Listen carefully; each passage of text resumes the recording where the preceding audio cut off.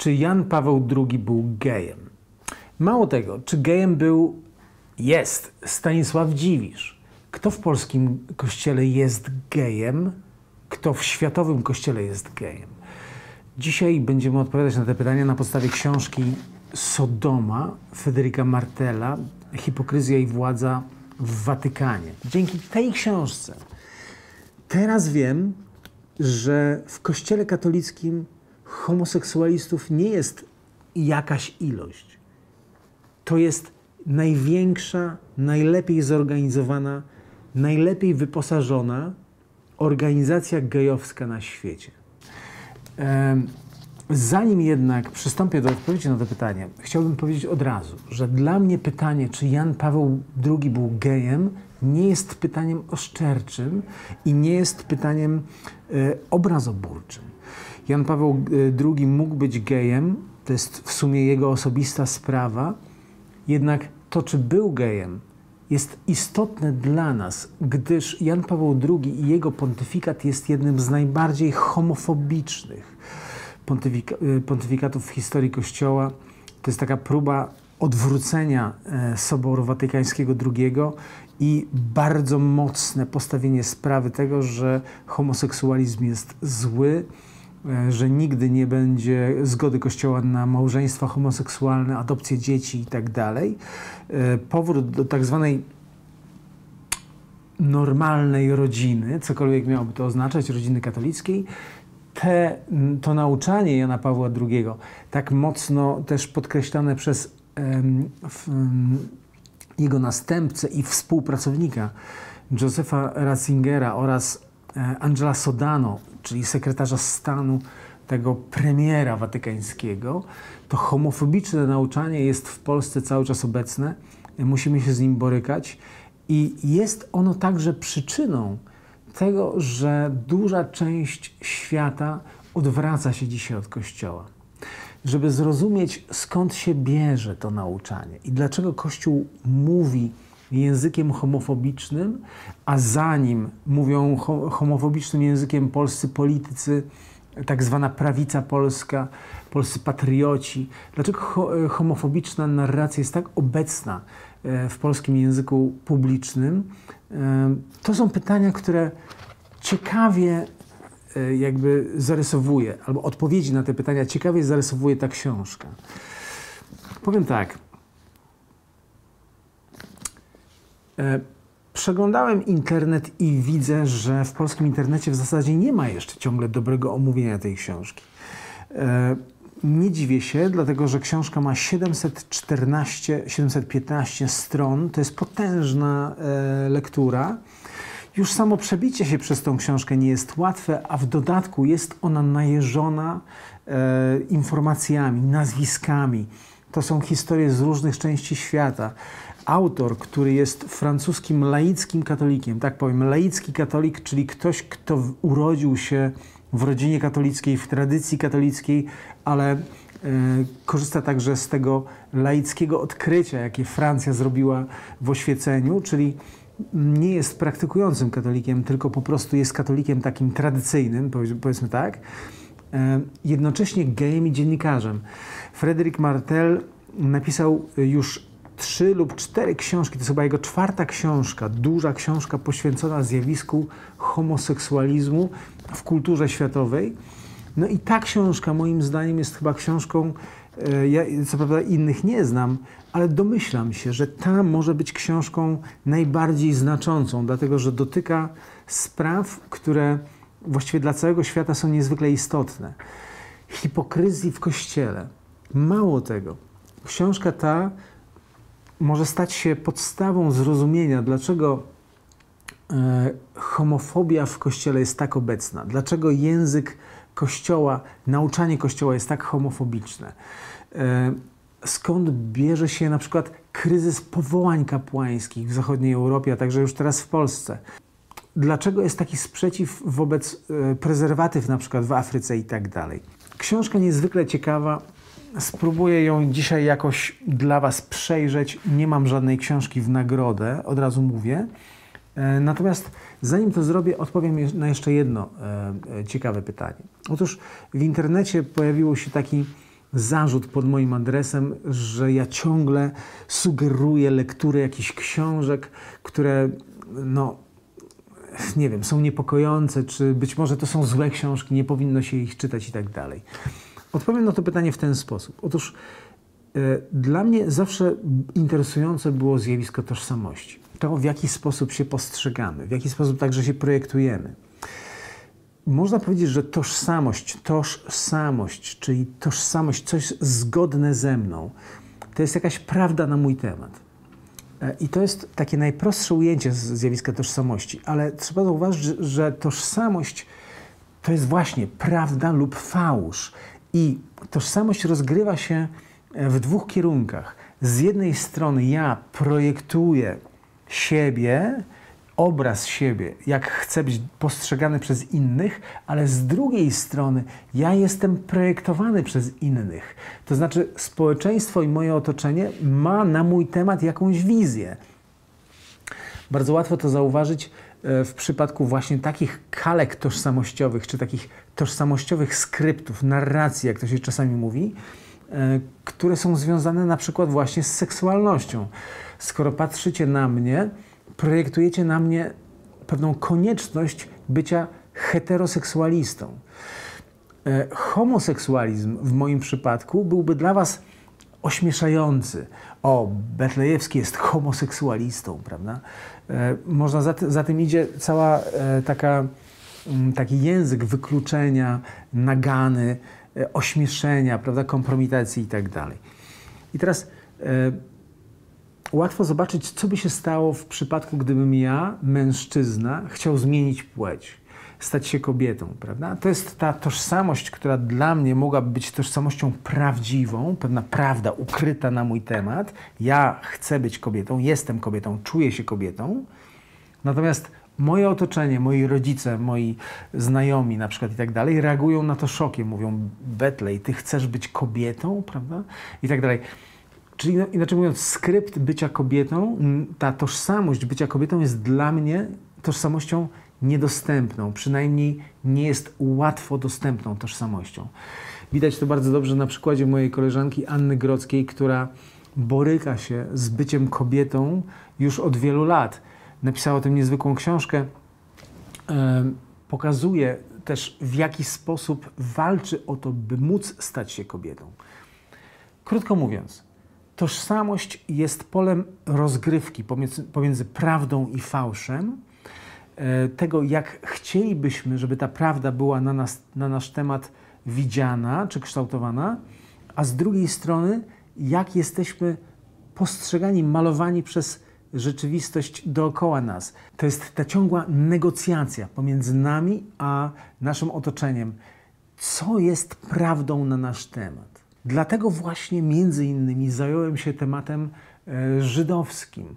Uważam, że Holokaust, nasza, nasz stosunek, polski stosunek do Żydów jest jednym z najlepszych momentów, w których można zobaczyć, jaka jest prawda i jaki jest fałsz na temat bycia Polakiem. Co to znaczy być Polakiem? Właśnie w tej e, negocjacji, w, tej, w, tej, w tym zetknięciu pomiędzy Polakami a Żydami świetnie to widać. Wydaje mi się, że ten, ten drugi skrypt bycia katolikiem jest także niezwykle interesujący. Co to znaczy być katolikiem? Szczególnie, że bycie katolikiem jest tak sprzęgnięte z byciem patriotą. Polak, patriota, katolik, prawda? To są te takie trzy naklejki, labels, czyli pewne etykiety, które wiele osób próbuje na siebie wziąć. Mówi o sobie Polak, katolik, patriota, albo po, polski patriota, katolik. Co to w zasadzie oznaczają te trzy, te trzy e, e, epitety, naklejki, e, czy pewne skrypty, narracje, historie na nasz temat? E, ja wychodzę z założenia, że warto się zastanawiać nad tym, w jaki sposób tożsamość jest kształtowana, do jakiego stopnia ja mam wolność w określaniu samego siebie, a do jakiego stopnia jestem określany przez skrypty, które są już gotowe.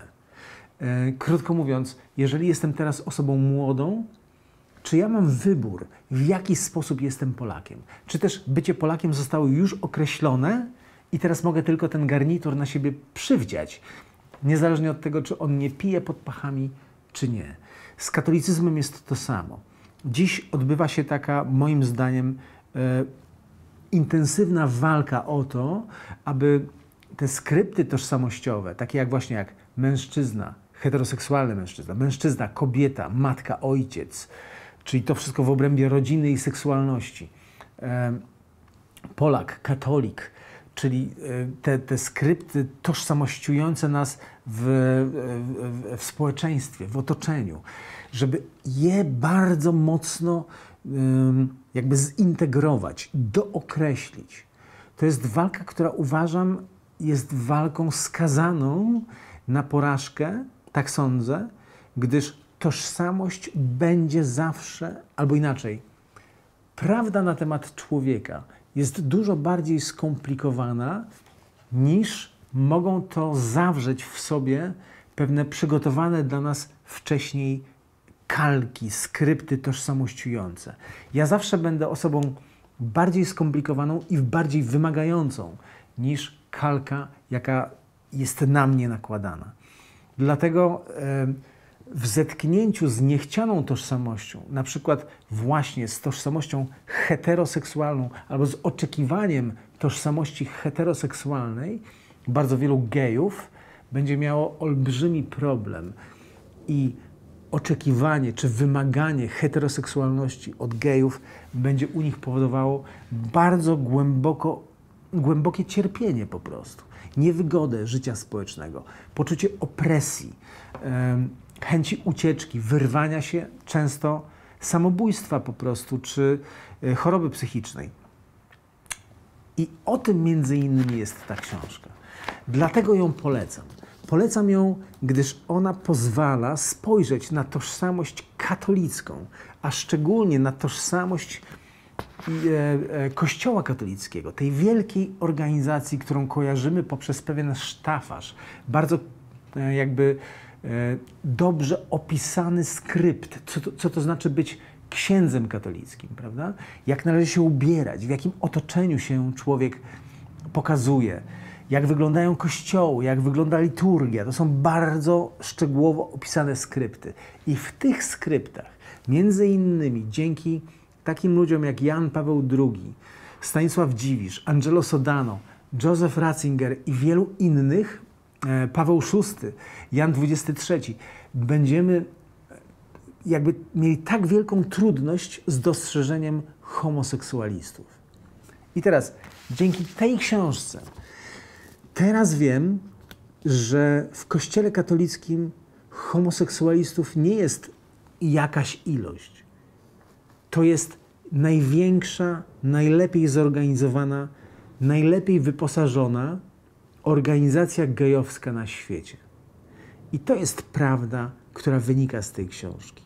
Prawda, moim zdaniem, dla Kościoła katolickiego druzgocąca. Druzgocąca w obrębie pewnej sztywnej tożsamości, jaką Kościół katolicki przyjął dla siebie, a która już nie wytrzymuje, nie wytrzymuje wewnętrznego ciśnienia kłamstwa po prostu, hipokryzji, podwójnego życia związanego z tymi wszystkimi ludźmi, którzy będąc gejami, nauczają nas o tym, że bycie gejem jest czymś złym.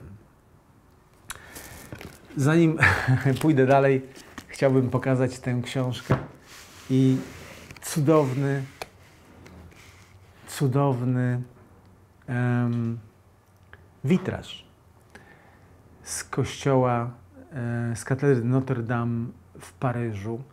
Powiem szczerze, że gdy zobaczyłem płonącą katedrę, zrobiło mi się bardzo smutno i pomyślałem sobie, że e, wartość sztuki, ludzkiego osiągnięcia jest naprawdę niezależna od pewnej ideologii, która mu towarzyszy. Czy to będzie, jak w tym przypadku, katolicyzm, czy to będzie islam, czy to będzie dowolna inna religia, czy też będzie to wytwór e, sztuki świeckiej. W sztuce, w ludzkim osiągnięciu, ludzkiego umysłu i wrażliwości jest niezwykła, uniwersalna wartość, którą warto chronić. I teraz przejdźmy do samej książki. Otóż po pierwsze, co trzeba o niej powiedzieć. Jest to książka niezwykle dobrze zrobiona.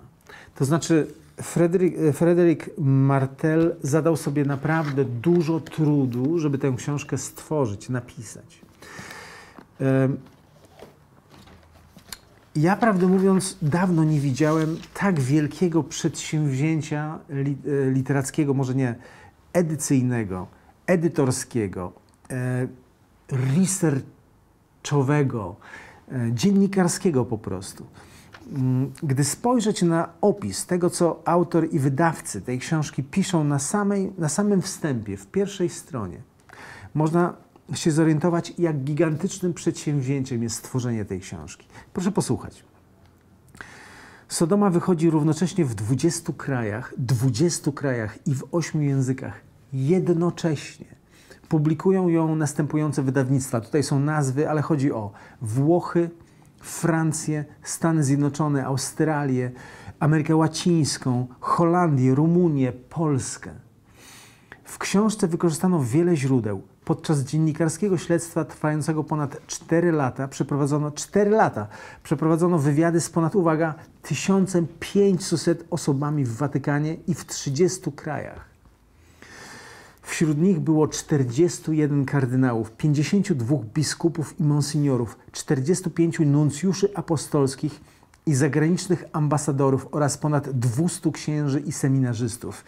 Wszystkie rozmowy przeprowadzone zostały osobiście nie przez telefon, nie za pomocą poczty elektronicznej.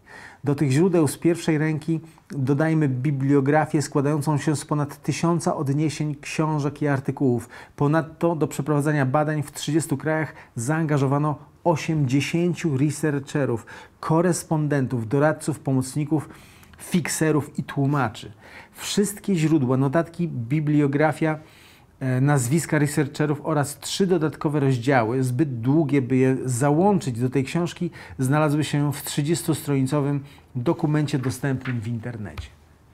Powiem szczerze, że takiej skali przedsięwzięcia e, dziennikarsko-wydawniczego dawno nie widziałem.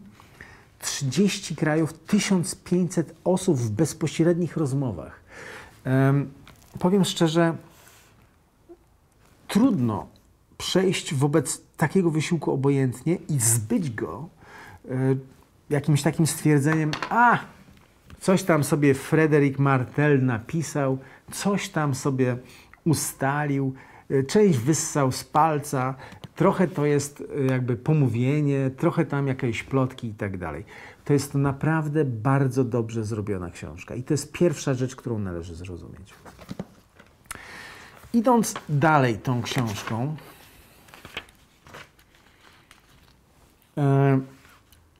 natychmiast docieramy do pierwszego i głównego e, stwierdzenia tej książki, takiego wniosku, który ta książka prezentuje w sposób e, no, bezlitosny, ale też niezwykle dobrze udokumentowany.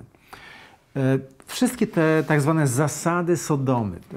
Sodoma zresztą to jest jedyny problem, który mam z tą książką. Nie podoba mi się ten tytuł. Uważam, że jest to tytuł, który jakoś wiąże znowu homoseksualizm z Sodomą, sodomi, sodomitami i tak dalej. E, sodomici, żeby było jasne, czy, czy sodomia to jest słowo odnoszące się do współżycia ze zwierzętami. To nie jest homoseksualizm. E, więc tutaj mam jeden zarzut. Ale książka prezentuje tak zwane zasady Sodomy. Sodomy, czyli tego, co się dzieje w Watykanie przede wszystkim, e, w kontekście romansów homoseksualnych. Stan duchowny długo stanowił idealne schronienie dla młodych homoseksualistów. Homoseksualizm jest jednym z kluczy do powołania. I to jest zasada kardynalna tej książki, czy jakby kardynalne odkrycie tej książki.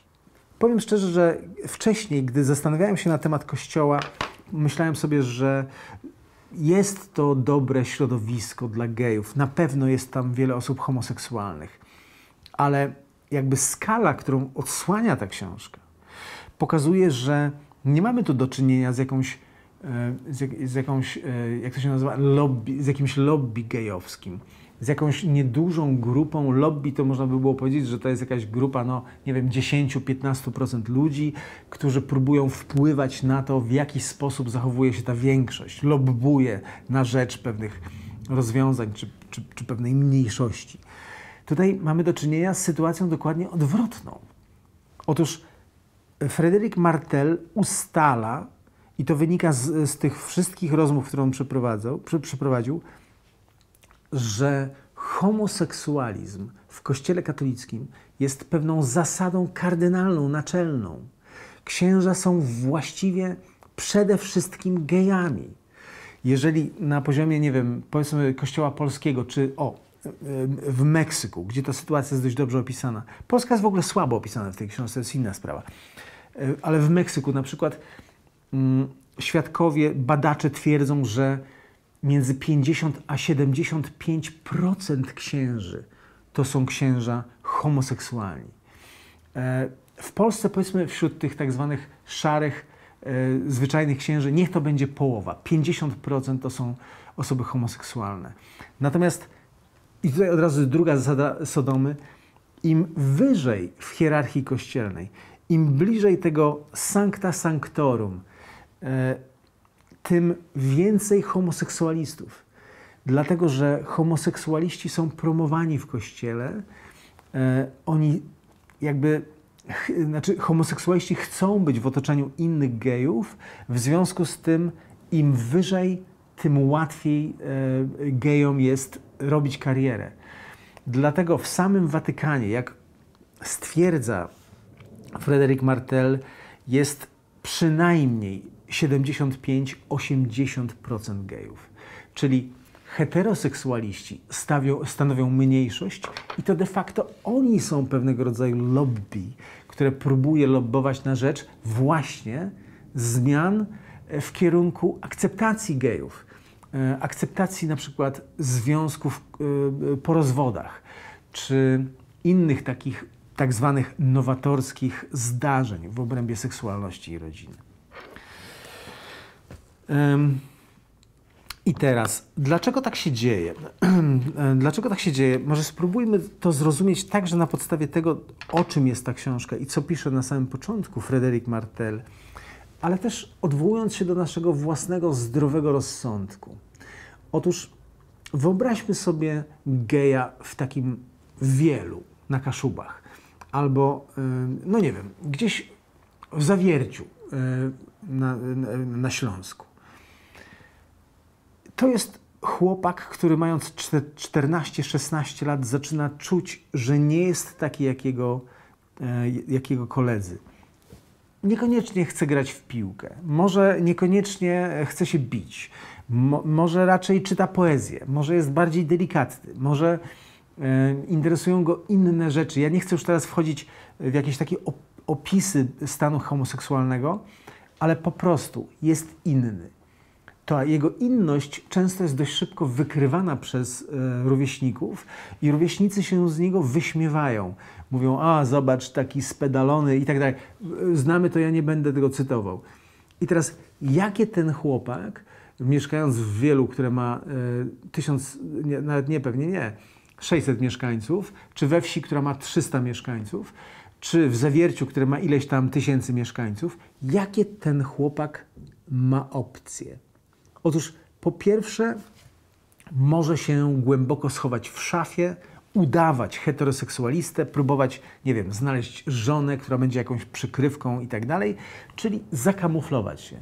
No jest to sytuacja fatalna, e, takich wujków, którzy się nigdy nie ożenili, takich jakichś kawalerów wiecznych znamy pewnie ze swojego otoczenia i być może są to ludzie, którzy z narażeniem jakby swojej reputacji, E, sytuacji społecznej próbują kryć swój homoseksualizm przez lata.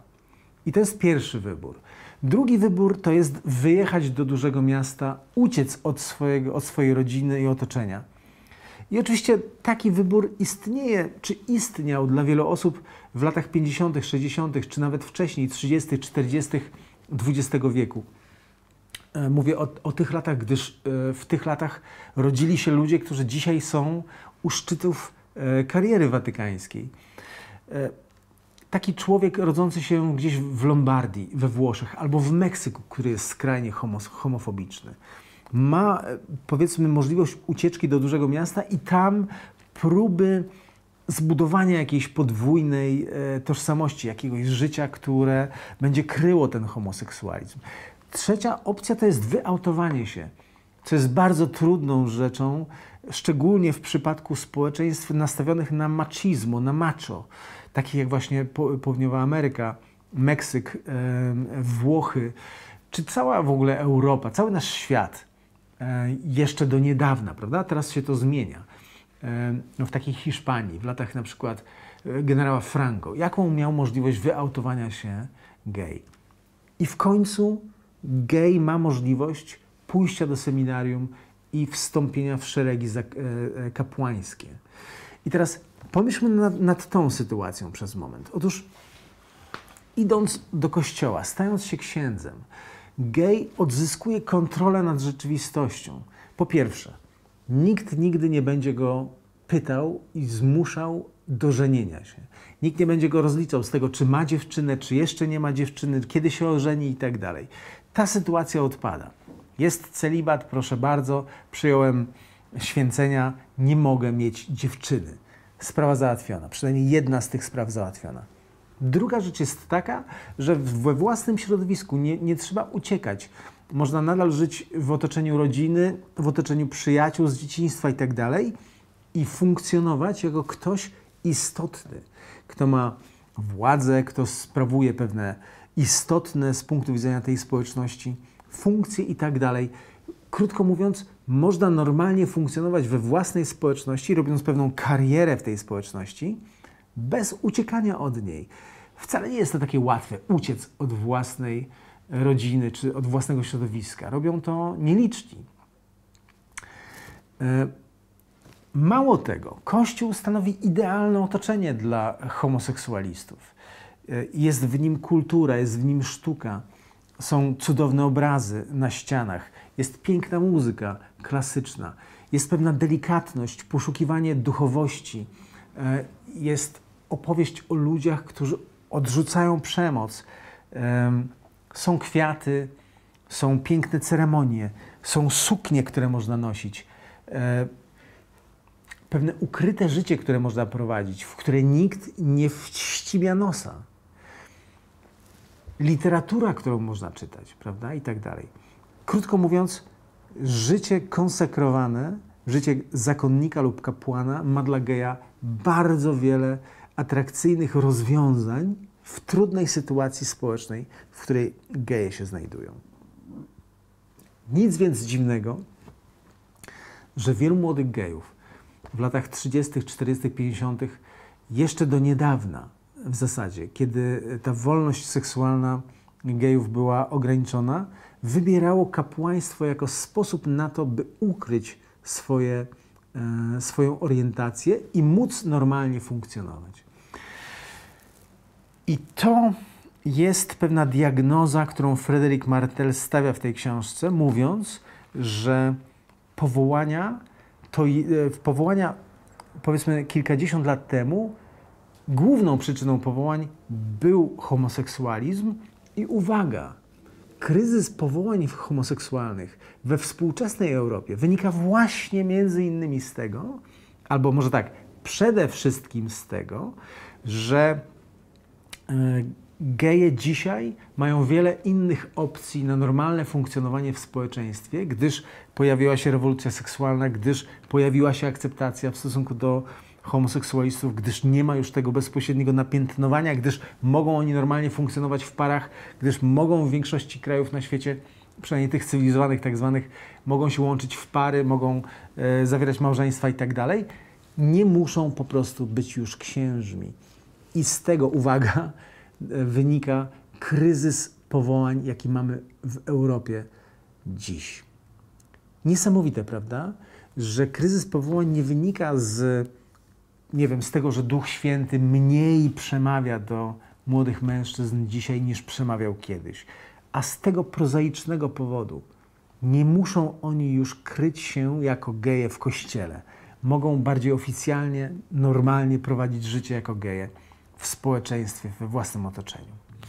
Frédéric Martel mm, dochodzi do tych pierwszych zasad y, Sodomy, między innymi rozmawiając z Francesco Laporem, księdzem, który robił błyskotliwą karierę w Watykanie, był młodym intelektualistą, czy jest nadal znawcą łaciny, który opowiada o sobie w ten sposób.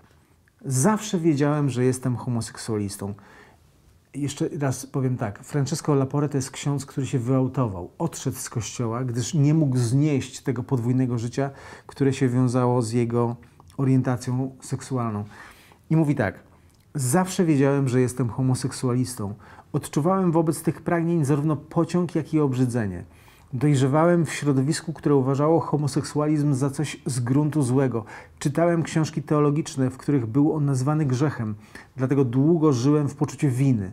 Aby się z nim uporać, wybrałem drogę zanegowania seksualnego pociągu i zastąpienia go pociągiem do religii. Wybrałem czystość i seminarium. I to jest właśnie droga wielu gejów, o, którym, o których przed chwilą rozmawiałem. Zostanie księdzem, Zostanie księdzem było dla mnie sposobem odpokutowania grzechu, którego nie popełniłem.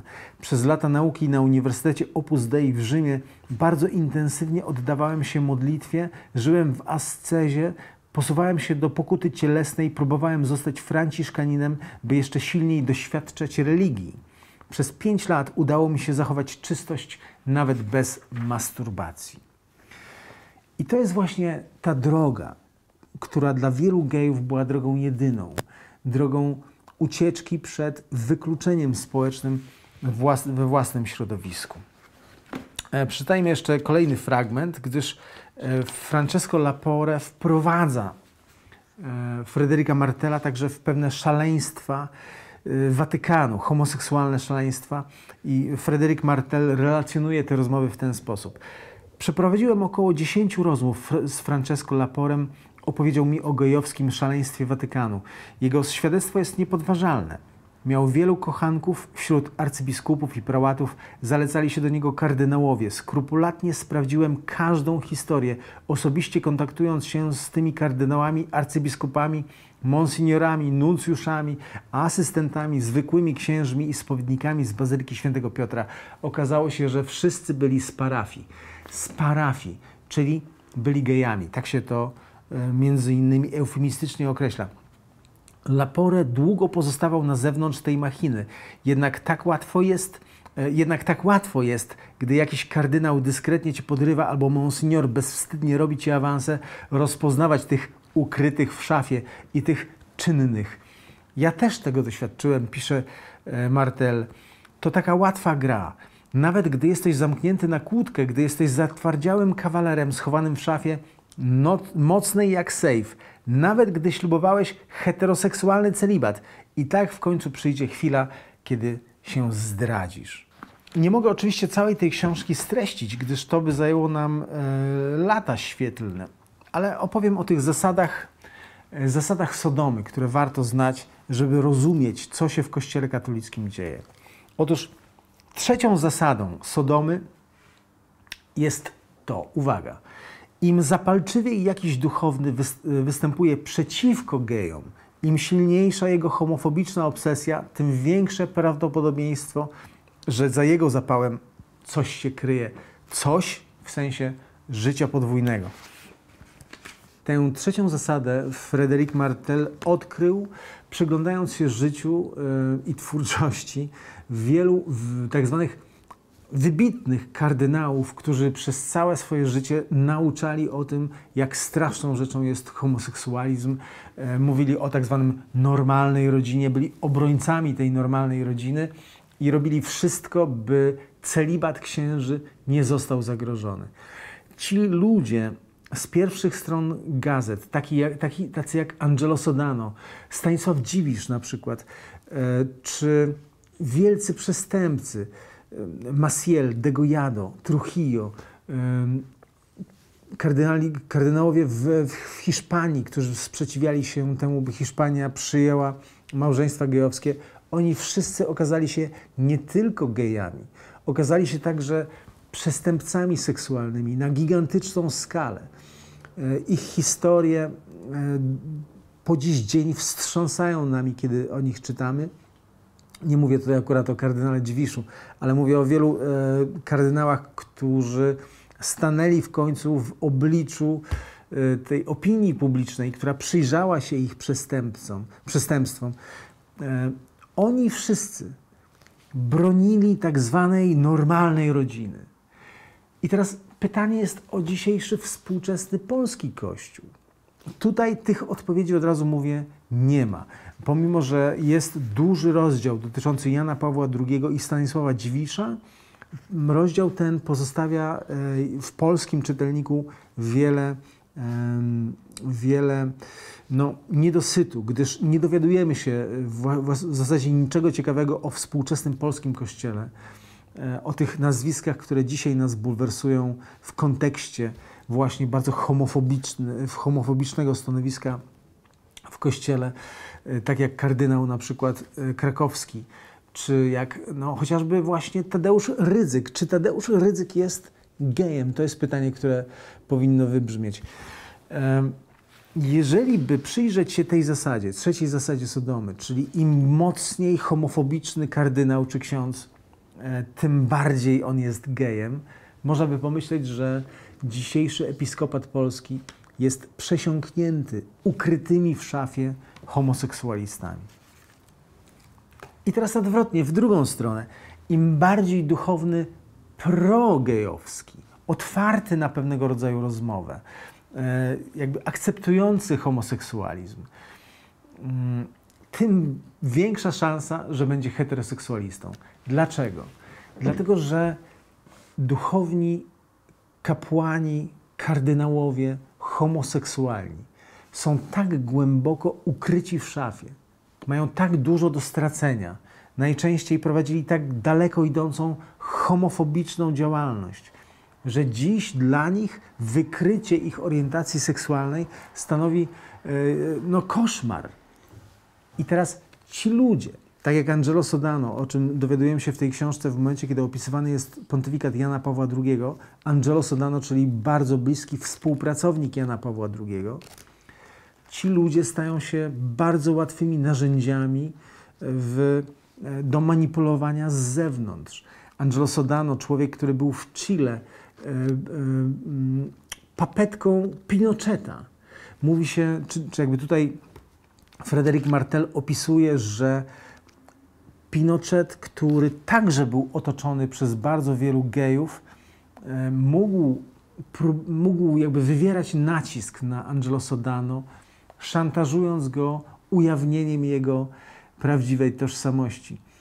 I Angelo Sodano no, co dzisiaj czytamy z, z, jakby z oburzeniem, przez lata wspierał politykę e, Pinocheta, doprowadzając przecież do wizyty Jana Pawła II e,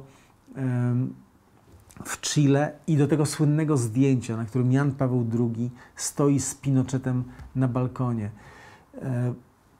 Jan Paweł II wspierał Angelo Sodano do końca jego życia, tak jak i wielu innych kardynałów, homofobicznych, którzy prowadzili podwójne życie. Idźmy do czwartej zasady e, Sodomy. Otóż im duchowny jest bardziej progejowski, tym mniejsze pra prawdopodobieństwo, że sam jest gejem. I jak pisze Martel, spośród ostatnich e, pięciu biskupów Rzymu, czyli papieży, przynajmniej trzech było homoseksualistami. E, to byli Franciszek, wcześniej Benedykt, wcześniej Jan Paweł II, wcześniej, nie liczymy Jana Pawła I, e, wcześniej Paweł VI i Jan XXIII. Którzy z tych ludzi byli homoseksualni? Wynika wyraźnie z książki, że Franciszek osobą homoseksualną nie jest. Dlatego też, zgodnie z tą zasadą, jest osobą dużo bardziej otwartą na prawa gejów. Jego, jego pozycje negocjacyjne są otwarte. Poszukuje wśród nominacji biskupich, wśród nominacji kardynalskich ludzi, którzy dużo lepiej negocjują te e, stare, tradycyjne, homofobiczne pozycje. Zresztą Martel ma tutaj także do niego wiele zastrzeżeń. Uważa, że postawa Franciszka jest niejednoznaczna. E, dwa kroki do przodu, jeżeli chodzi o sprawę gejowskich małżeństw, trzy kroki do tyłu. e, znowu krok do przodu i tak dalej. Wokół niego e, wybuchają, wybuchały skandale homoseksualne. Jednym z najsłynniejszych chyba był skandal, skandal młodego człowieka, który był tak zwanym eskortem, czyli e, prostytutką męską. Cudownie wchodzi mi zachodzące słońce do pokoju. E, Przepiękny wieczór, wiosna. Powiem tak, nie dam rady omówić całej tej książki na raz. Niech to będzie na razie ta część, na której się zatrzymamy. Czy Jan Paweł II był gejem? To jest pytanie, na które odpowiem w kolejnych częściach tego omówienia. Natomiast książkę polecam, gdyż jest to książka stawiająca pod znakiem zapytania wszystko, co wiemy na temat Kościoła katolickiego. A jego głównym wnioskiem jest to, że Kościół katolicki to jest największa na świecie organizacja homoseksualna. Franciszek, Jan Paweł II, Paweł VI i w końcu Benedykt XVI są omówieni w tej książce dużo bardziej dokładnie. Oczywiście pojawia się tutaj e, sylwetka Stanisława Dziwisza, niewątpliwie geja, jak pisze Martel. Natomiast wydaje się, że, i to warto będzie omówić dokładniej, wydaje się, że najbardziej ciekawą sylwetką jest tutaj sylwetka Józefa Ratzingera, gejowskiego papieża, który ze, swoim homoseksual, y, ze swoją homoseksualnością walczy od samego początku swojego istnienia. Jako młody człowiek się z tym zmaga, wstępuje do kościoła właśnie w poszukiwaniu czystości. Intelektualista, teolog, jednocześnie postać niesamowicie homofobiczna, zamknięta na celibat, e, na, na rozmowę o celibacie, czyli na małżeństwa heteroseksualne w kościele, e, na małżeństwa homoseksualne i tak dalej, ale papież, który ustępuje. Ustępuje ze względu na niezwykły, bardzo lirycznie opisany romans ze swoim przyjacielem i sekretarzem, i być może jest to człowiek, który dla miłości porzuca urząd. I o tym będziemy rozmawiali w następnej części tego spotkania z książką Fryderyka Martela Sodoma. Dziękuję, pozdrawiam. Rafał Betlejewski. Zachęcam do subskrypcji tego kanału i udostępniania tego filmu dalej.